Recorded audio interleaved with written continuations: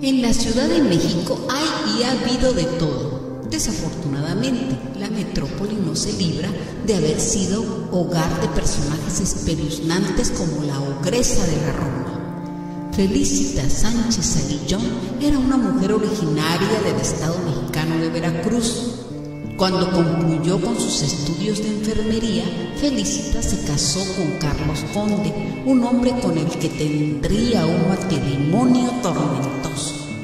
En 1930 la enfermera se separó y emigró hacia la Ciudad de México, donde se inició el repugnante negocio de tráfico de menores en aquel tiempo, muchas madres solteras e incapaces de mantener a sus hijos se citaban con ella para regalarle a sus bebés. Felicitas los vendía entonces a parejas adineradas que eran incapaces de procrear sus propios hijos. Este nuevo modus vivendi le permitió acumular tanta riqueza que, poco después, la mujer se trasladó a un amplio departamento en la colonia Roma una de las más populares de la capital.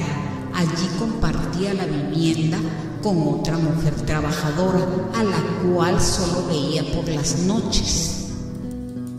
Esto le concedió la oportunidad ideal para dar rienda suelta a sus atrocidades, empleándose como partera. Normalmente Felicitas atendía a las señoritas de buena familia que quedaban embarazadas y no querían tener a sus bebés.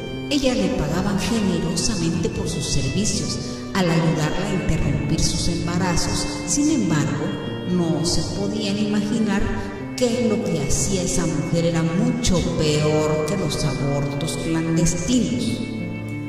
Un día los vecinos de Felicitas notaron que algo extraño ocurría en las cañerías. El agua se estancaba con demasiada frecuencia y un olor pestilente salía desde el apartamento de la Francisco Pérez, dueño de una tienda de comestibles que se encontraba en el primer piso del edificio donde vivía, llamó a los plomeros para que destaparan la alcantarilla. Lo que encontraron dentro los dejó helados. Se presume que, para ese instante, Felicita Sánchez había cometido más de 50 infanticidios, además de los partos fallidos y los abortos avanzados. El caso tomó relevancia nacional y escandalizó al país entero, pero solo se mantuvo durante tres meses en prisión debido a que su abogado amagó con revelar la lista de clientes que mantenía la red de compra-venta de infantes y a las mujeres que había optado por abortar en una época en que hacerlo era sinónimo de crueldad y homicidio.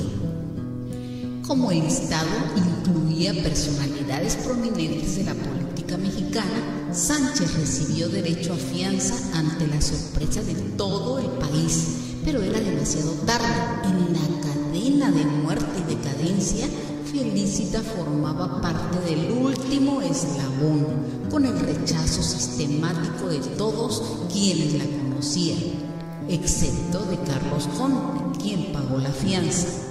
La asesina serial e infanticida se quitó la vida en la madrugada del 16 de junio de 1941 con una sobredosis de fármacos y su historia pasó a la posteridad como el terrible caso de la partera de la muerte o de la ahora famosa ogresa de la Roma. Les comento unas citas de ella. Efectivamente, atendí muchas veces a mujeres que llegaban a mi casa.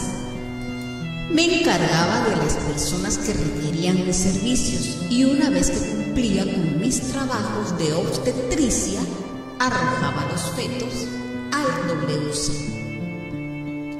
Una mujer me dijo que había soñado con su hijo que iba a nacer muy feo, que por favor le hiciera una operación para arrojarlo. En efecto, aquella criatura era un monstruo, tenía cara de animal, en lugar de ojos unas cuencas espantosas y en la cabeza una especie de cucurucho.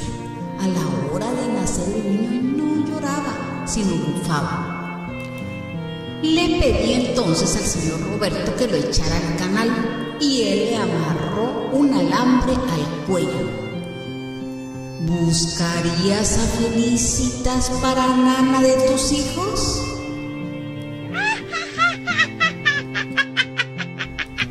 Esto fue el búnker del cuervo.